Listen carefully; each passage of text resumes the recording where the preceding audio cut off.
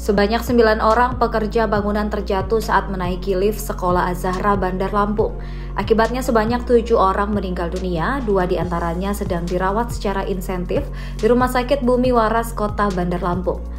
Menurut keterangan salah keluarga Joko 49 tahun, kronologis yang mereka dengar, 9 orang tersebut hendak pulang dan turun dari lantai atas. Disinggung firasatnya sebelum kejadian, Joko mengaku tidak ada firasat apa pun karena sebelumnya ia sempat komunikasi dengan korban yang sedang dirawat. Senada dengan itu, pihak keluarga lain, Erna 50 tahun mengatakan, sebelum tragedi ia sempat berkomunikasi dengan adiknya Herizal. Atas peristiwa itu, dua orang masih dirawat di Rumah Sakit Bumi Waras Kota Bandar Lampung. Sementara tujuh korban lainnya yang telah meninggal dunia telah dipulangkan ke rumah masing-masing sekira pukul 20 waktu Indonesia Barat.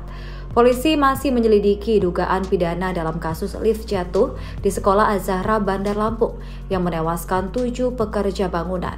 Para pekerja tersebut meninggal dunia diduga karena menggunakan lift barang yang seharusnya tidak digunakan oleh pekerja bangunan. Kasat Reskrim Polresta Bandar Lampung, Kompol Denis Arya Putra mengatakan, pihaknya kini tengah memeriksa saksi-saksi dan telah melakukan olah TKP.